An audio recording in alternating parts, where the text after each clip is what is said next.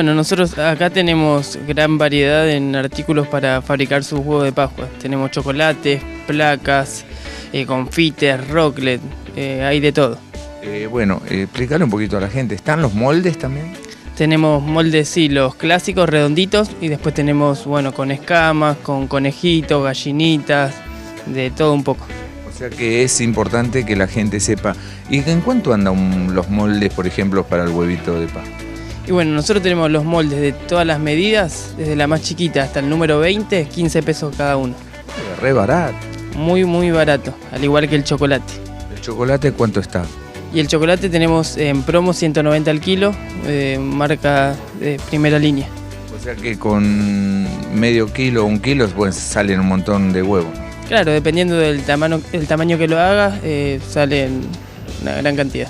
También se vende el confite para ponerle adentro. Sí, tenemos confites, eh, frutales, tenemos los mini rocklet, rocklet.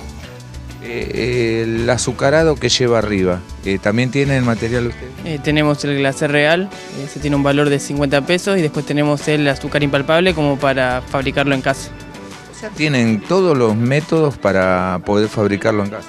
Tenemos absolutamente todo. Todo lo que busque lo va a encontrar acá y al mejor precio. Eh, sí, pero esencialmente también saber que regularmente las familias numerosas, o si no también ponerse de acuerdo la familia, ¿no? Eh, hay cuatro chicos en un lado, tres en otro, cinco en otro, bueno, juntamos todo y hacemos los huevitos para todos.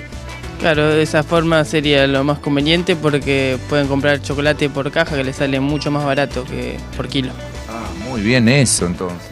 Así que sí, sí, lo mismo con el azúcar y los confites. Siempre comprando por mayor va a ser el mejor precio. Eh, por último, y el envasado, digamos, también están las bolsitas o el nylon y el moñito.